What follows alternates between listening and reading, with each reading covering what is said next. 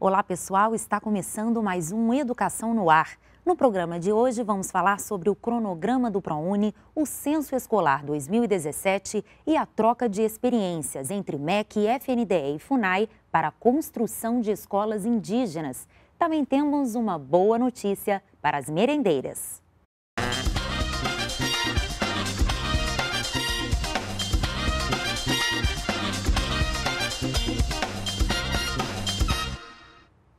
O projeto de construção de 50 escolas indígenas na região do Rio Negro, no Amazonas, e as diretrizes para a Política Nacional das Obras entraram em debate no Ministério da Educação.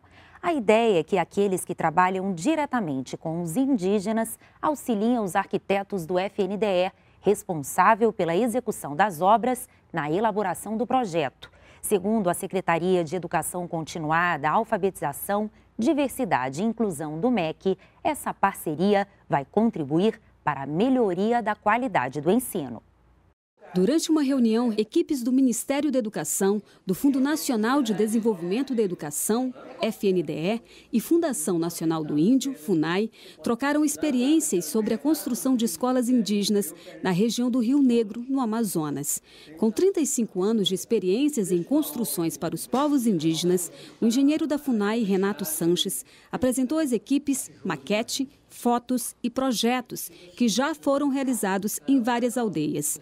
No próximo dia 18 de junho, uma equipe do MEC deve visitar São Gabriel da Cachoeira para apresentar à comunidade indígena da região o projeto inicial, que deve viabilizar a construção das primeiras três escolas. Na região do Rio Negro existem mais de 60 mil indígenas de mais de 30 povos. O censo 2015 apontou que existe um déficit de quase mil escolas indígenas. Atualmente, segundo o levantamento do MEC, os alunos têm aulas em escolas improvisadas, que funcionam em igrejas, centros comunitários e até na casa do professor. Em visita à região em dezembro do ano passado, o ministro Mendonça Filho já tinha demonstrado preocupação em relação à educação indígena dos povos do Rio Negro.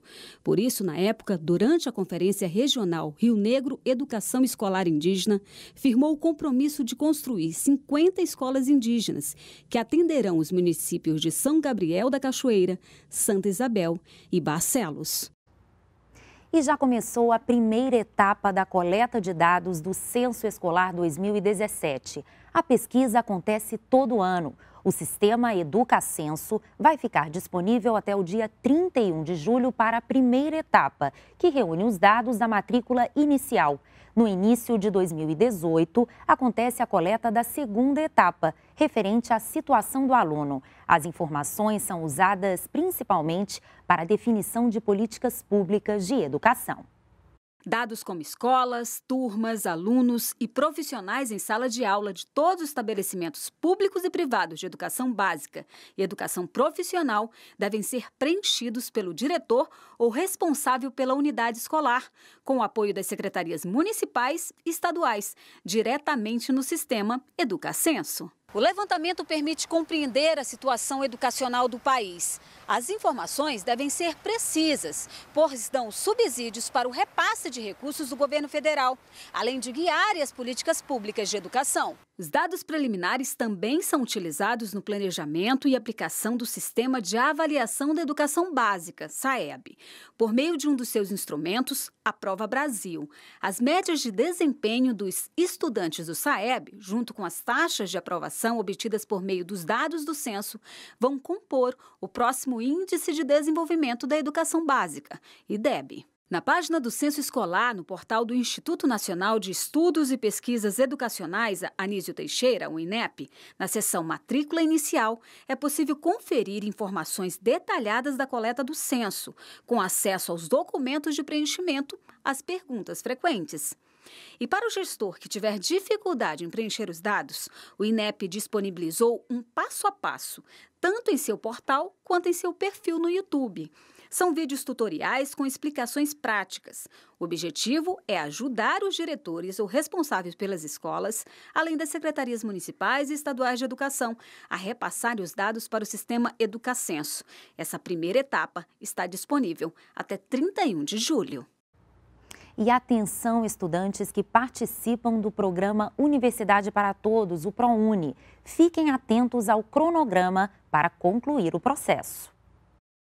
O resultado da primeira chamada do programa Universidade para Todos ProUni já foi divulgado. Agora, os estudantes devem ficar ligados nas datas de confirmação das informações, que devem ser feitas até o dia 19 de junho. O resultado da segunda chamada será divulgado no dia 26 de junho. Nesta fase, os estudantes devem comprovar as informações de 26 a 30 de junho. O prazo para participar da lista de espera é de 7 a 10 de julho e as datas para comprovação dos dados pelos candidatos da lista de espera são 17 e 18 de julho. Neste processo seletivo, o segundo de 2017, são ofertadas quase 148 mil bolsas, quase 18% a mais do que no ano passado. Desse total, mais de 67 mil são integrais e quase 80 mil parciais, em mais de 27 mil cursos de 1.076 instituições particulares de educação superior em todo o país. O ProUni é voltado a alunos que estudaram em escola pública ou particular com bolsa integral. Participam da seleção estudantes que fizeram o Enem de 2016, tiraram o um mínimo de 450 pontos e não zeraram a redação. Também podem concorrer às bolsas estudantes com deficiência e professores efetivos da rede pública de ensino. Os cursos com o maior número de vagas são Administração, Pedagogia e Direito.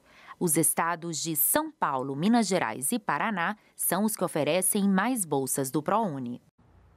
E agora uma boa notícia para as merendeiras de todo o país. As inscrições para a segunda edição do concurso Melhores Receitas da Alimentação Escolar foram prorrogadas até o dia 26 de junho. A ideia é incentivar nas cantinas a criação de refeições mais saudáveis e saborosas. E a gente tem muito bom exemplo por aí, não é mesmo? As merendeiras concorrem a diversos prêmios, entre eles uma viagem de intercâmbio ao Caribe. Participe! É só entrar no site melhoresreceitas.mec.gov.br. Bom, o Educação no Ar de hoje fica por aqui. Quem quiser saber mais informações sobre os programas do MEC, acesse o site e as nossas redes sociais. Até a próxima!